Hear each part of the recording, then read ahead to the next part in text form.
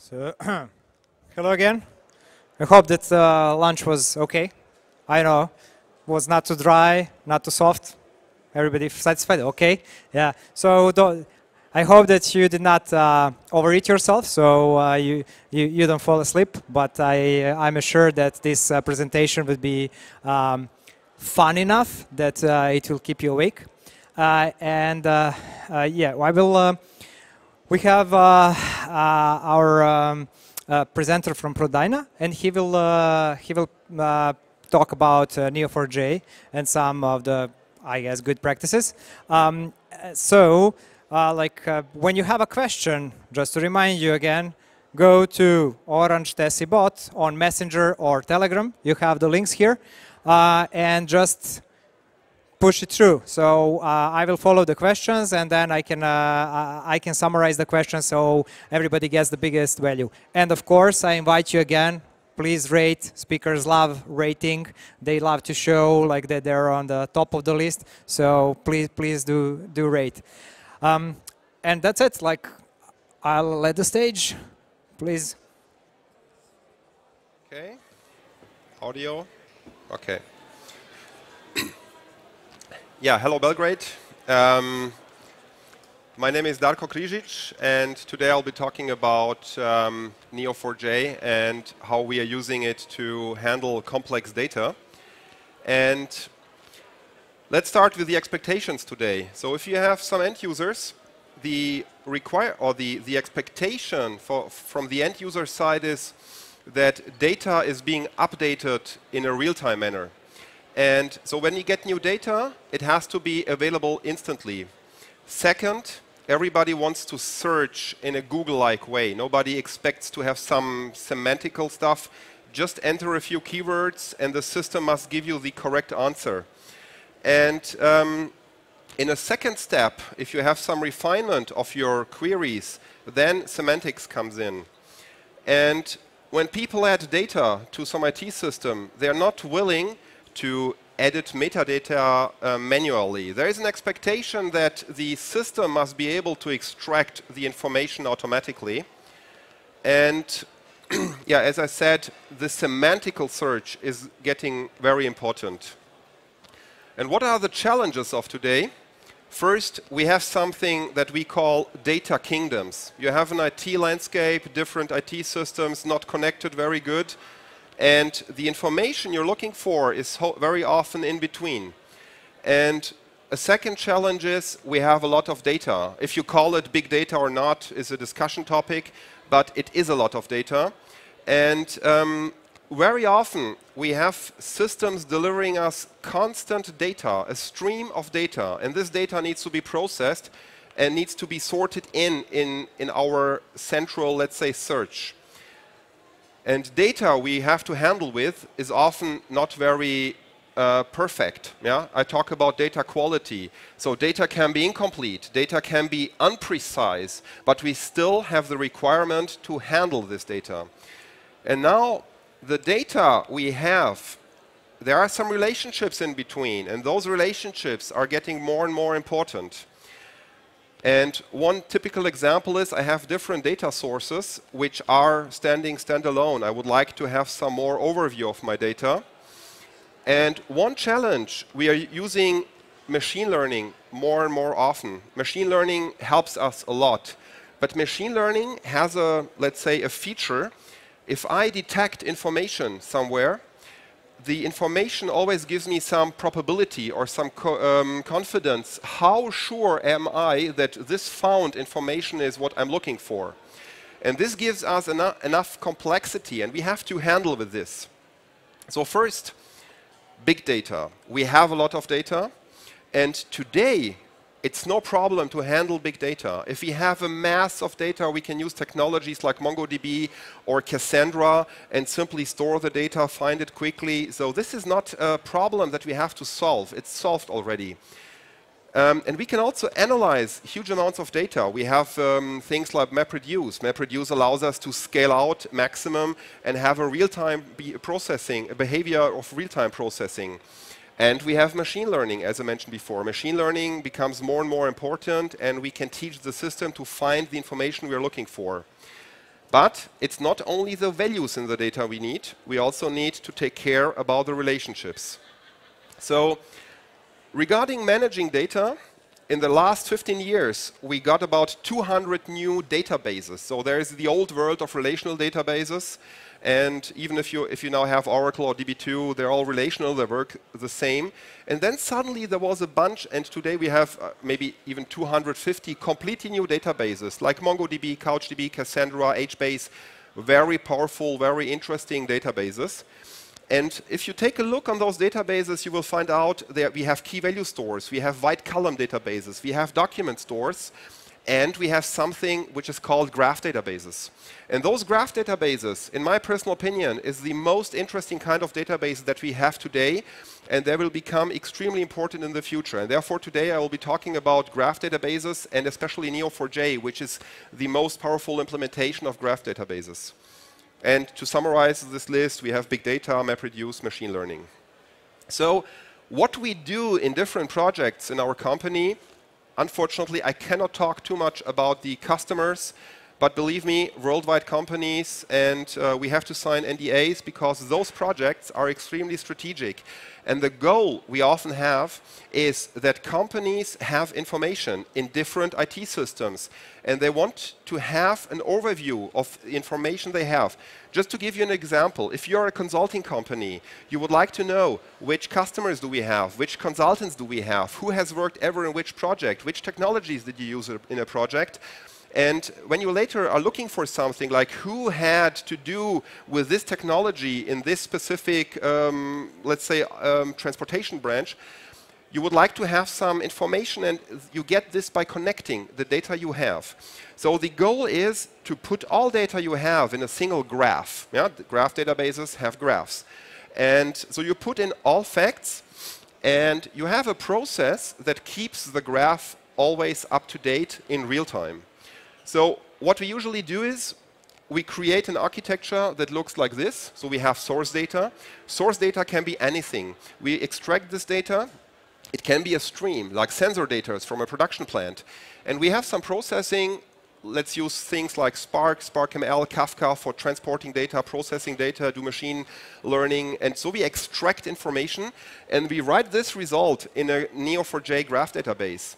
And then we can add a presentation to it. So a presentation, the left screenshot shows uh, is Tableau.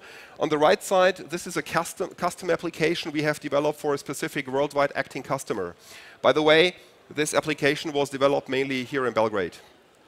And um, we also, just to add, um, the processor on top is also very interesting. If I create a graph and I have all my data and all my facts in this graph, I can use machine learning and find more information in the, in the data that I have in this graph. So a little bit basics about graph databases. Just a short question. Who have, who have ever of you heard about graph databases? Okay, most. Who has worked with graph databases? Okay, a few. Okay, so it makes sense for me to talk now. Um, so the basic principle of graph databases is we have two, two kind of data. First is a node, and second is a relationship. A relationship always connects two nodes. And um, a big difference, people ask me very often, what's the difference now between a relational database and a graph database?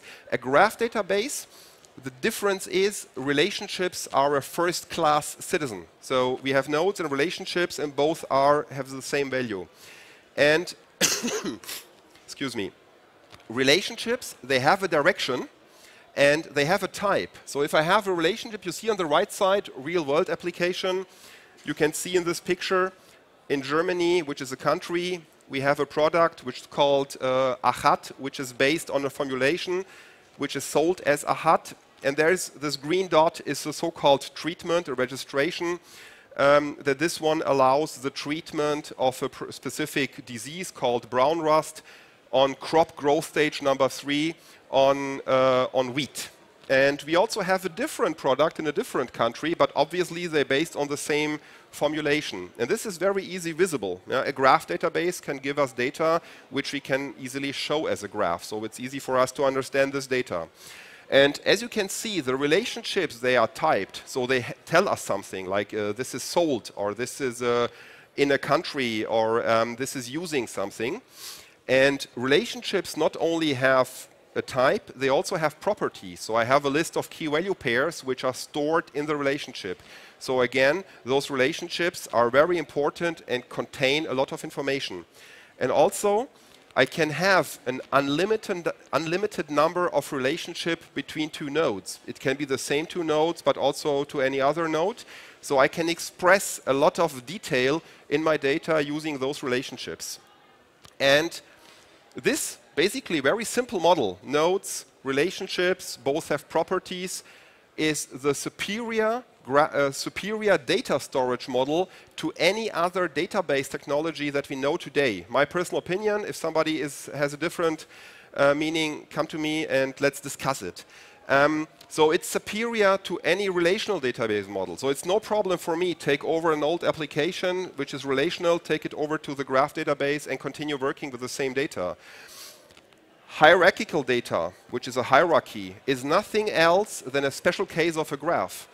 And then things like an ontology. Ontology is a node having multiple parents, is a special case of a graph. It's a so-called directed graph. So everything we have in data can be mapped easily to a graph database, and therefore is a superior modeling uh, structure.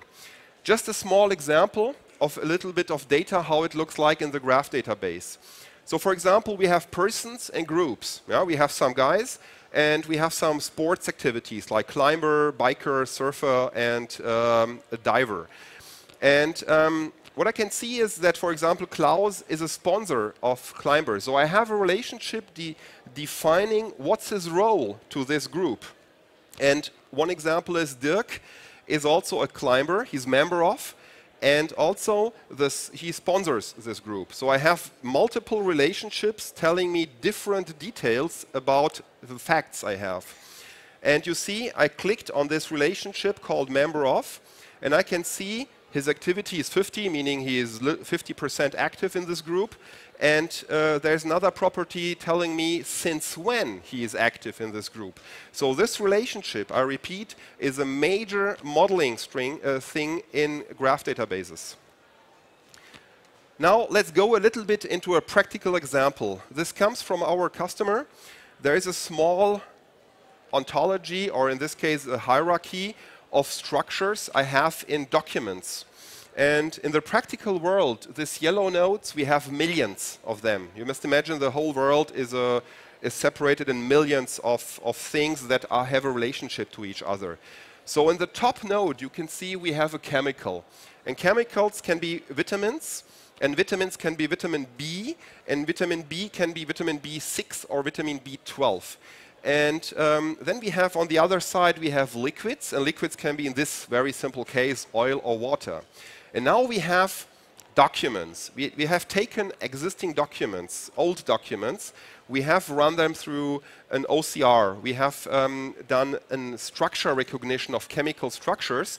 And then we have point, we are now pointing with our documents to the, um, to the correct nodes. And those relationship also have a probability, which might be 90%, 80, 100%, depends. And now let's have a real-world example. And that's uh, what I mean with semantical. We are now looking for a specific kind of document. We are looking for a document, let me just take a look, which handles vitamin B12. It's a stabilization. How can I stabilize vitamin B12 against oil? And you can see we have documents about vitamin B6, uh, or here vitamin B6 and oil. We have water against uh, vitamin B6, but there's no document that gives us what we want. And if you compare, if you have a full text search engine, it also doesn't know vitamin B12, vitamin B6. Yes, both contain word vitamin, but how similar are they? And, in, our, um, in our hierarchy, we can see vitamin B12 and vitamin B6 are both vitamin B. So they are very close. They're just two hops away. And exactly this feature is what we are now using for searching the document. So what I'm doing here, is it readable on the, on the seats? Can you read behind? Yeah? So this on, on the top, this is the query language of Neo4j. It's called Cypher. Uh, everything in the Neo4j world has to do with the movie Matrix. Um, so in the first step, I'm looking for a structure called vitamin B12. And then I'm also looking for oil, which is another structure. And then I'm looking for a document that contains any structure. And then I'm taking, I'm uh, using this document. I, am looking for structure S0 and S1. So I have taken my document with two structures. And then in the next step, I'm doing a path search. I'm telling Neo4j, please find, i will point this with my mouse, sorry. So I am, can you see the mouse? Sorry. Yeah. So here I have, I'm looking for a path from the structure 0 that is part of my document, and I'm telling Neo4j, go from there to vitamin B12, which I'm looking for. And the distance can be 0 to 2. So I'm looking not only on the node the document is connected to, but also looking in the graph for nodes around it, and then I'm limiting it to 2. It can be 5, it can be unlimited, no problem. And I'm doing the same with oil. I'm taking the second structure here and looking for the distance to oil. And the result is a path. Neo4j can return a path to me, telling this from this node to this node, there is a path in between. And um, yeah, then I'm calculating the sum of the path length. And this is very important to me. If the path length is zero, I have a full match. But um, the, the smaller the number, the more exact my answer is. And now take a look on the result. The first result tells me document 2 is our candidate. It uh, handles vitamin B6 and it handles oil. So vitamin B6 is not a full match. But if I take a look on the first path, I see vitamin B6 is also a vitamin which also contains vitamin B12. So we have a node distance of 2. And on the right side, I see oil is a full match. So I have a length, a total length of 2. So what I can do now, technically, is the user is searching for vitamin B12 and oil. But here I can tell them, look, I don't have vitamin B12, but I have vitamin B6. It's similar. Maybe this document is of interest to you. And another match would be document 1. Document 1 talks about vitamin B12, but against water. So again, I have a path, and again, the length is uh, 2. So those two documents are no full matches, but very interesting for the user because from a chemical perspective, they are similar, so they could be applied. Yeah? We are in the field of researchers working with chemical structures and processes. And then, number three, um, as you can see in the, the order by length ascending. Yeah? Therefore, I get the documents in this specific order. And then document number three tells me length is 4 because both entities I have found are also neighboring with two nodes to my uh, nodes I'm looking for.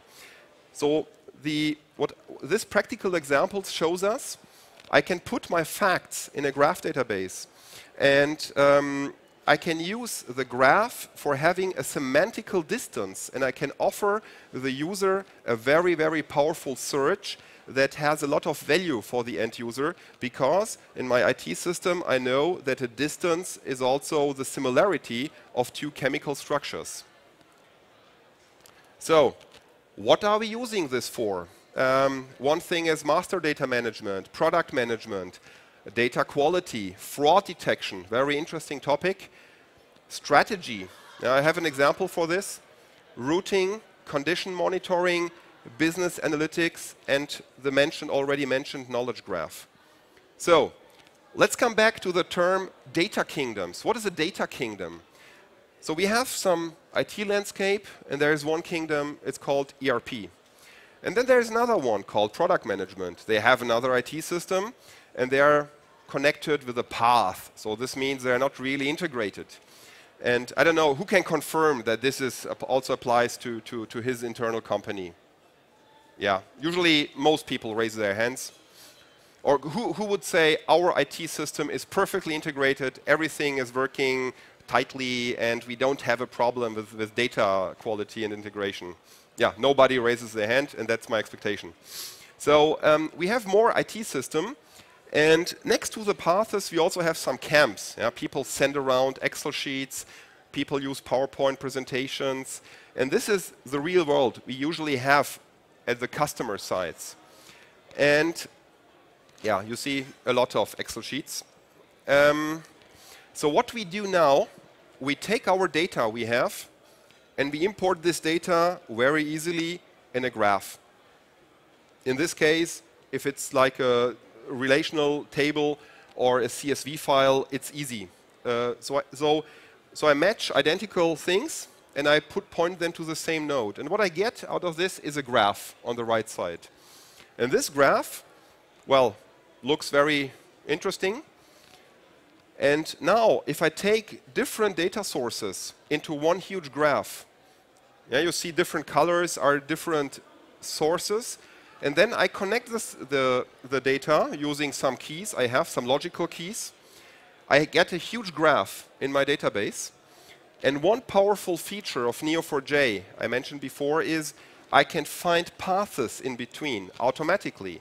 So if I start with a node on one data source, I can go to the total different end in the same graph and find all paths in between. I have a sample for that later.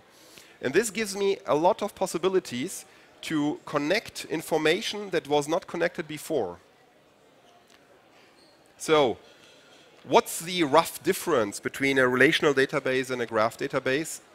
As I said, relational databases are based on a mathematical model, model called set theory. Yeah? Everybody in the ele elementary school has learned it. The Neo4j or graph databases based on a graph model.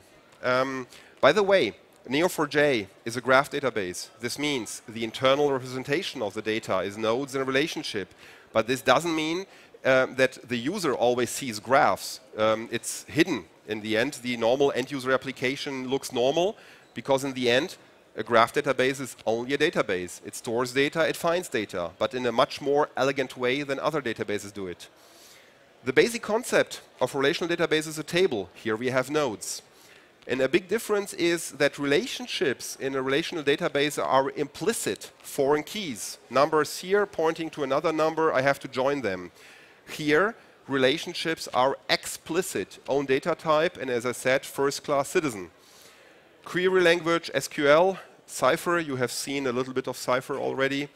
Um, both databases are transactional.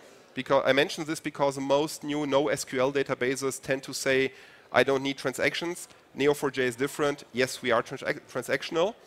And I can talk to Neo4j using REST interfaces. So in the end, everything in the background, you can see this a little bit in the results set I have shown you before. You see, uh, just a second. You see here, the result is JSON. Yeah? Everything in the background of Neo4j is JSON. Now, um, So let's take a look on one specific example we have, a real world, fraud detection. We have a database full of users, bookings, flights, and now there we know some of those bookings are frauds. Yeah? And simply by taking a look in the graph, we have customers literally do, doing this, we can detect that some frauds, some of those are frauds. This is an example for a stolen user account because there is a booking for somebody else unknown to the system. Whereas on the right side, this is an example of a stolen credit card because the credit card was used with the user account, now it's used without. And it's very easy on the graph side now to see a fraud. And it's also very easy to have a, we can do a manual look or we can do a query against the database, which is relatively easy to formulate.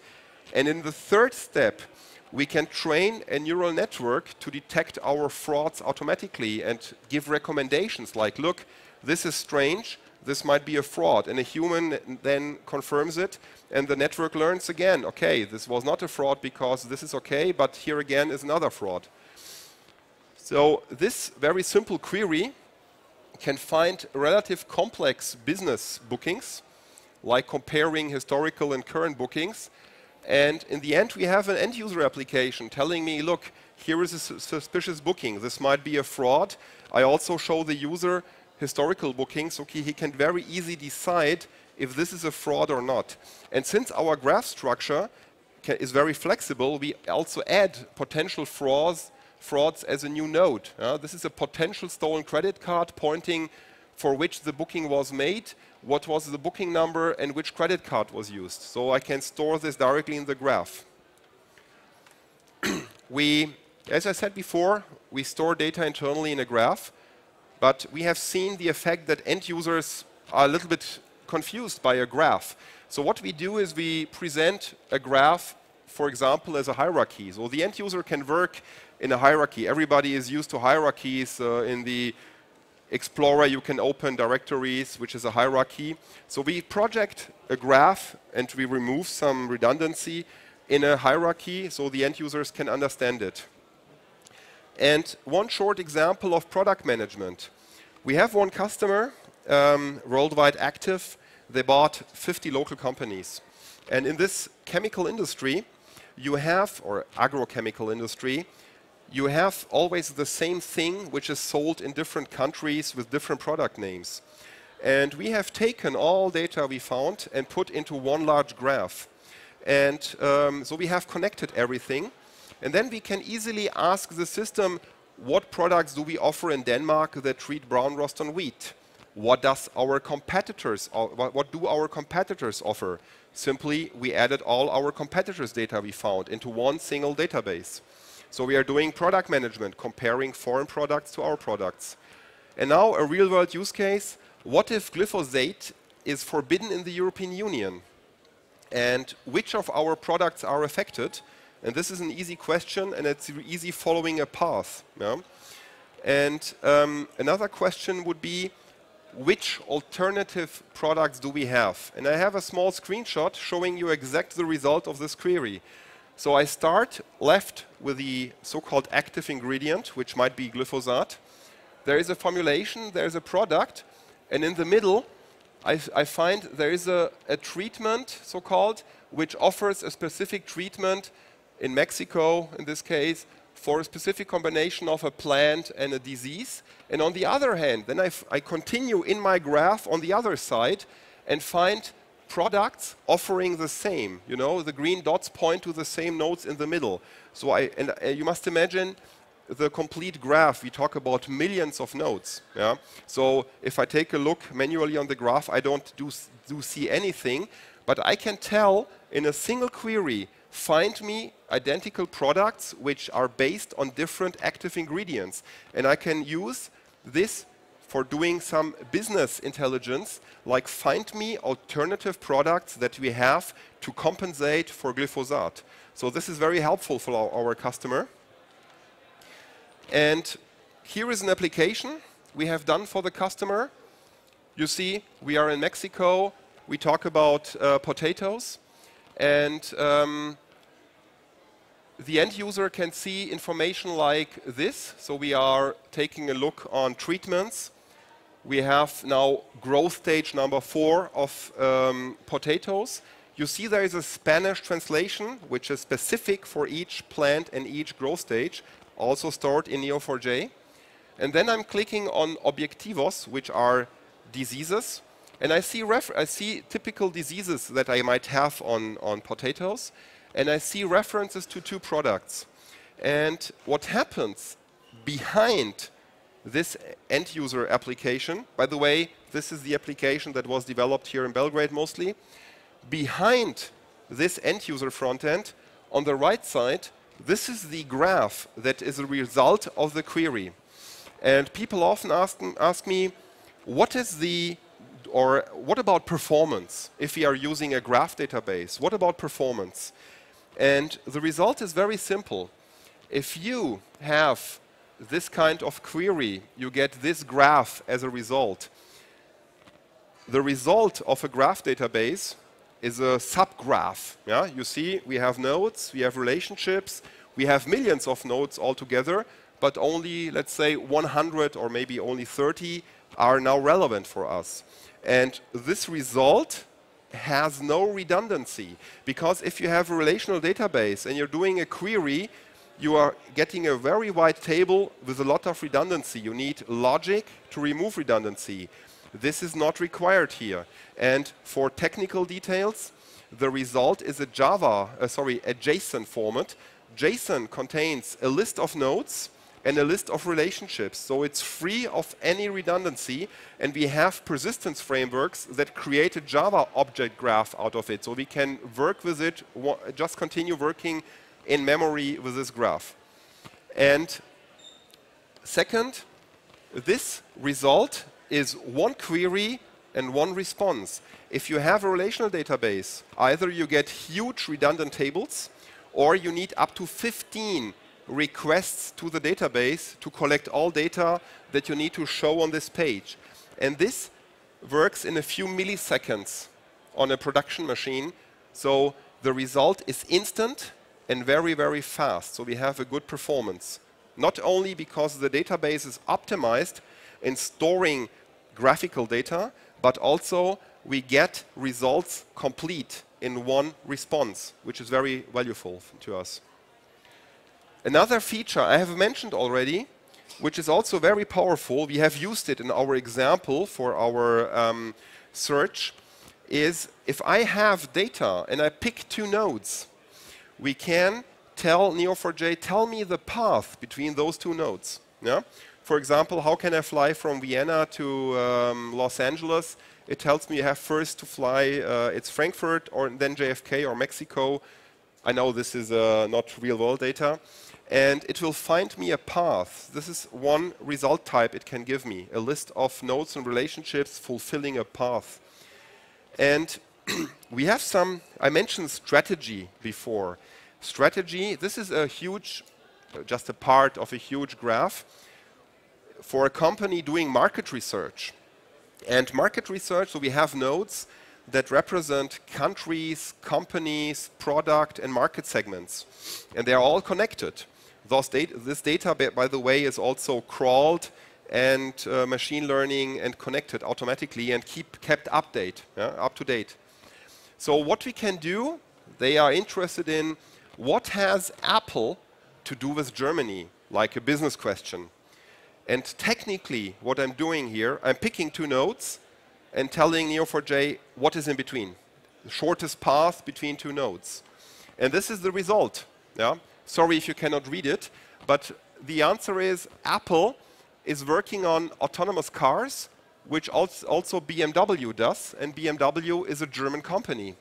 Or Apple solds, uh, sells a product called iPhone 7, which is um, offered by Deutsche Telekom, which is a German company, and so on. Yeah? Like Apple is an electronic vendor, as it is uh, Mercedes uh, electronic components, as it is Mercedes, uh, and so on. So as you can see, this is of an extreme value. Yeah?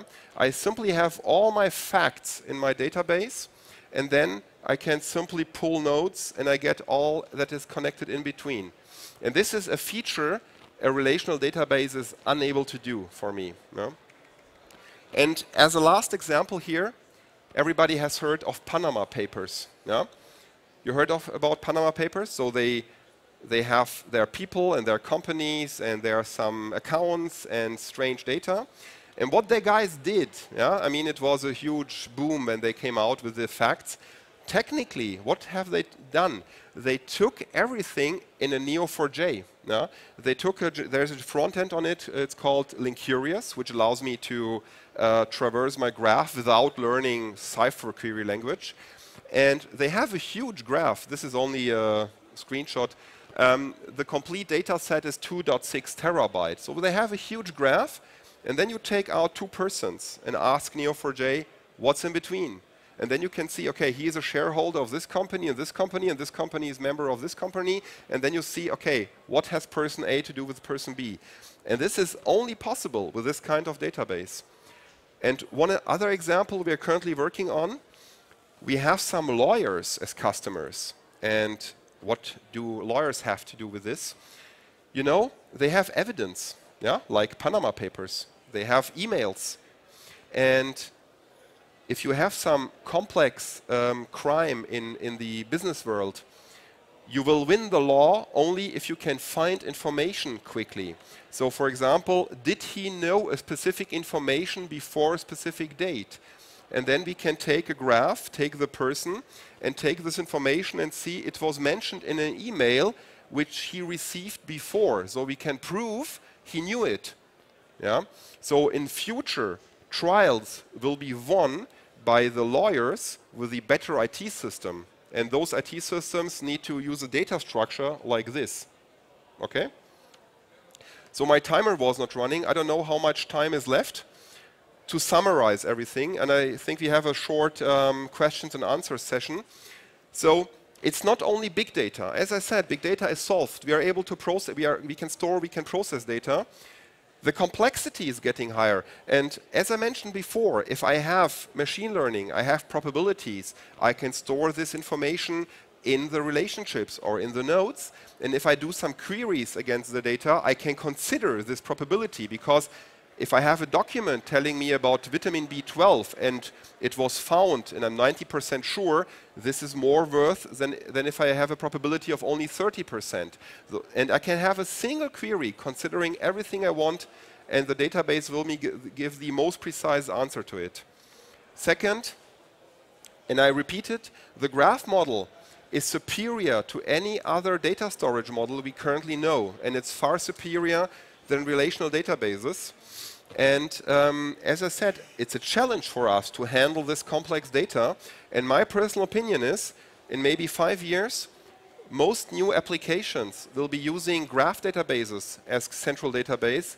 And what happened 40 years ago that we suddenly had relational databases. Before that, we didn't have relational databases. We had some hierarchical or even non-relational databases. This is now happening again towards graph databases. So they will be coming very, very important. Yeah? And as I said, graphs contain semantics. And this semantic is what the user expects. Yeah? I am, I'm looking for a document and it, the computer tells me I don't have this. You know, you start searching million of entries. You, you refine it by one more word, 10,000. One more word, zero. And this is not what I want. I don't, I want the, I, the computer to tell me look, I have something which is similar, this might be of interest to you. And this is my expectation, and this is also your expectation. And uh, you have seen a real-world example how it works. Um, yeah, and those relationships are the key we are talking about. And keys, I repeat, are the first-class citizen in the graph databases. And that's it. How much time do we have? We have, we have seven more minutes. Pardon? Seven more minutes. So uh, yeah, and we have one question. If you yeah, yeah. great. So uh, yeah, the question is uh, how how did you kind of migrate uh, developers from thinking like relation to schemaless, and yeah, how was your experience? yeah, um, some of some guys here are from Prodyna, Serbia, and um, we started a new project. And I said, what technology to use? And four of five developers said, let's use Neo4j for it. So internally, we are very convinced to it.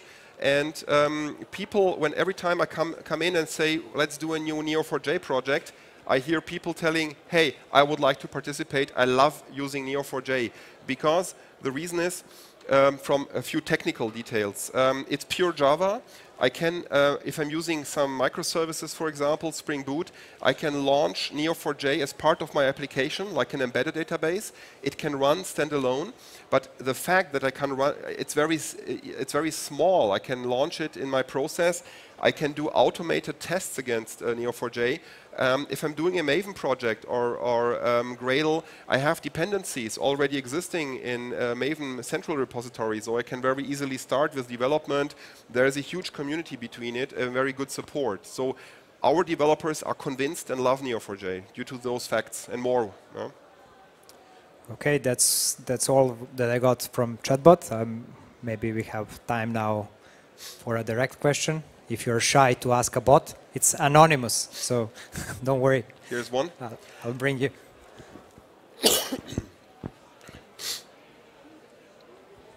Thank you. Well, uh, are there any data volume limitations in uh, this uh, database? Um, no. Um, I don't know. There is a technical limit, which are trillions of nodes, which are theoretically a maximum.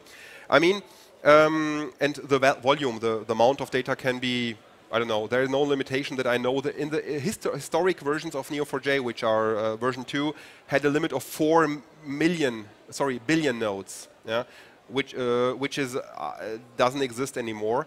Um, but be aware, um, there, um, um, it is capable of doing big data, but if you have stupid data, which like logs or sensor data, um, which cannot be interconnected to a graph, which are simply nodes in the, in the space not connected, Neo4j doesn't make sense. And in this case, um, I personally prefer using a combination of Neo4j for doing the semantical stuff, plus a database like, um, let's say, MongoDB or, um, or um, Cassandra, for example, for storing this mass data. And then there's a logical reference. And then you use things like Spring Boot, Spring Data, and Spring Data Neo4j, and Spring Data Cassandra, for example. Okay? So this is my opinion, but hard, there is no gener generic answer to it. We have, we have production environments with Neo4j with billions of nodes, okay? But there again, it's big server, 64 cores, one terabyte of RAM, and so on. Yeah? Big data, big machine. Yeah? May I ask, uh, sorry, uh, one minute more. Yeah. Uh, you mentioned that you're using in analytics purposes uh, Neo4j. And uh, uh, could you please explain how you use it directly or you process post-process data after Neo4j or how, how, how you establish that? you talk about this one on the yeah, early slide. I mean, what, what we are doing, we are um, um, we have different kind of analytics. Um, we are doing an analytics before, and mostly using Neo4j as the final store of our facts. So we collect facts in the database. For example, if we are collecting sensor data, we don't need to store every single sensor data. Therefore, we use something like Cassandra. But the fact that there is a, um, um, let's say, a high watermark and we passed it and we went again down, those facts are stored in, in the Neo4j because this is what we in the end want to know. Um, if we, there are connectors from Tableau which can talk directly to Neo4j, so we can represent this in the end for Neo4j. And what is new for this um, analytics is to take a look on the graph and find new relationships um, by looking on the existing graph. So this is kind of a new processing. So we have multiple steps and multiple locations where we refine our data. Is your question answered? We have a booth here, Prodyna, and if anybody wants to talk um, about Neo4j, have questions, different opinions, I'm open for any discussion. Feel free to come our booth and talk to me. I speak English, German, and uh, Serbian with a Croatian accent. One more. Uh, how does Neo4j scale? You mentioned that you run billions of nodes on a very fast machine. Uh, is it possible to run it on a multiple slower machines? Uh, yes, Neo4j can cluster Neo4j has an open source version. It's uh, the community edition, and there is an enterprise uh, version. And this enterprise version can run in a cluster, and you can have multiple nodes, and the nodes uh, are independent.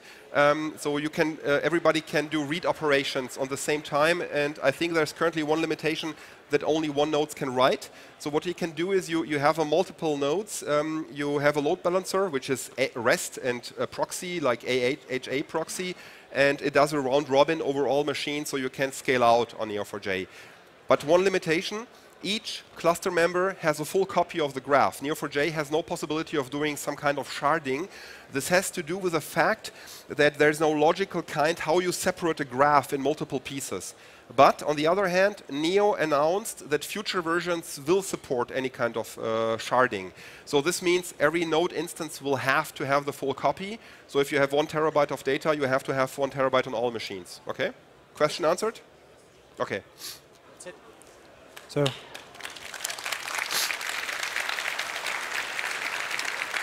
Thank you, thank you, thank Darko. You this much. was this was good. So don't forget to rate him well, I expect only the best. And as I said,